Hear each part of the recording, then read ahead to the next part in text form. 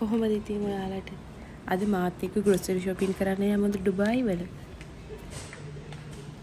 ඉතින් මේ තියෙන්නේ ඔයිල් ජාති sunflower oil, corn oil, oil නම් ටිකක් ගණන් දැන් මෙහි.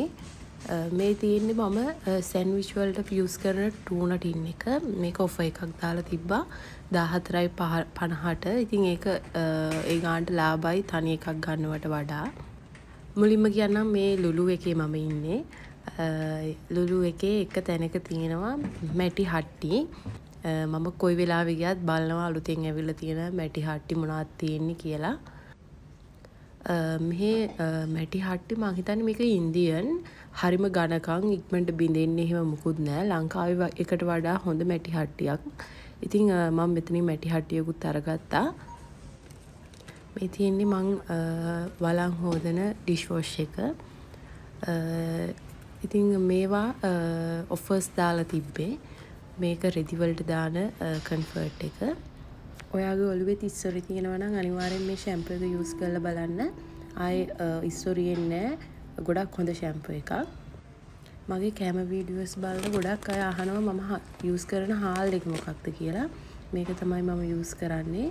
සුෘති කෝලම් රයිස් එක. මේක ග්‍රීන් ෆාම් බෑන්ඩ් එකෙන් තමයි මම ගන්නෙ. මේක චුට්ටක් ගණන් වැඩි. ඩිරම් 34ක් වෙනවා. මේ තියෙන්නේ මං ගන්න ගී එක. මේ ගී එකත් හරි සුවඳයි. ඉතින් ලංකාවේ ගණන් එක බලනකොට මෙහි කෑම් බඩුවල ගණන් නම් එකට එකක් වැඩි. දැන් ඩිරාම් එක රුපියල් 100ක්. ඉතින් හාල් එක 34ක් කියන්නේ 3400ක් විතර වෙනවා ලංකාවේ මුදලේ. මේ තියෙන්නේ මාළු පැත්ත. මම මාළු නම් ගන්න නැහැ මෙතනින් මස් විතරයි ගන්නේ. මෙතන චිකන් අපි මේ ෆුල් චිකන් එක ගත්තම මේගොල්ලෝ මෙතනින් කපලා දෙනවා. ඒක ලේසි අපිට ගෙදර ගිහින් කප කප ඉන්න ඕනේ නැහැ. කප්පුවත් වෙනම තියෙනවා. ඒ වුණාට මම ෆුල් චිකන් එක අරගෙන කපන්න දෙනවා.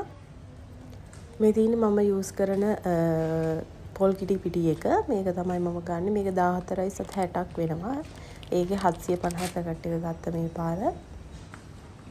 මිරිස් කුඩු එකත් ගන්න මම ඉන්දියන් මිරිස් කුඩු කාශ්මීර එක. ඒක සැර ටිකක් අඩුයි. ඒක හොඳයි.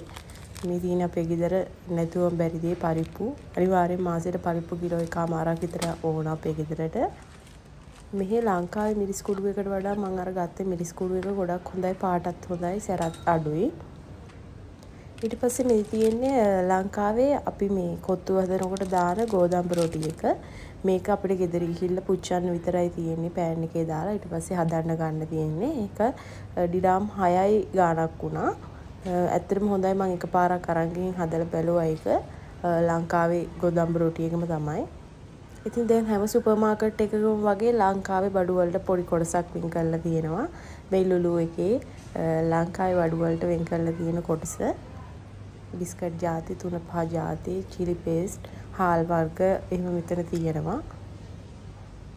මම යූස් කරන රතු හාල් එකත් අහලා තිබ්බ කට්ටිය මෙන්න මේක තමයි මම ගන්නෙ දැන්. කලින් ගත්තේ කැලරි ලංකා එක. දැන් මේ හාල් එක තමයි ගන්නෙ.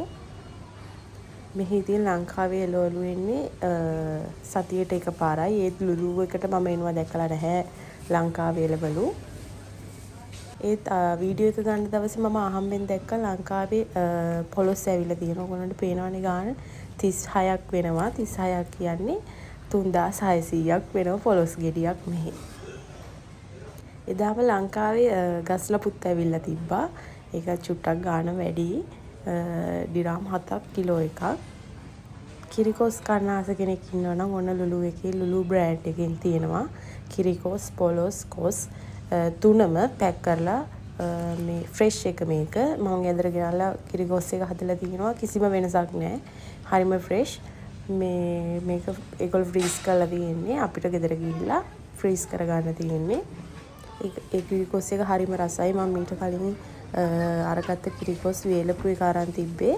මේක මේ ළඟදී ඇවිල්ලා තිබ්බේ. මේක හරිම රහයි.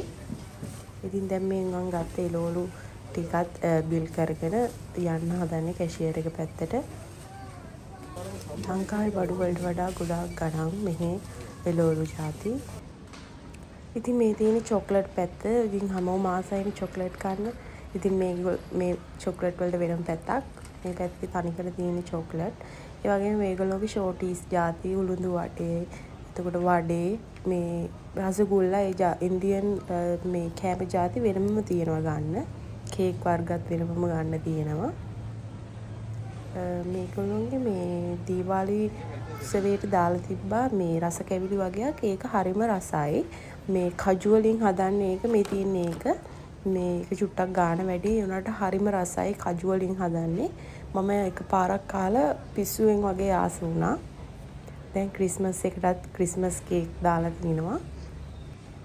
දැන් මෙහි සුපර් මාකට් වල අපි බඩු ගන්නකොට අරගෙන දාගෙන යන shopping එකටත් සත 25ක් ගන්නවා.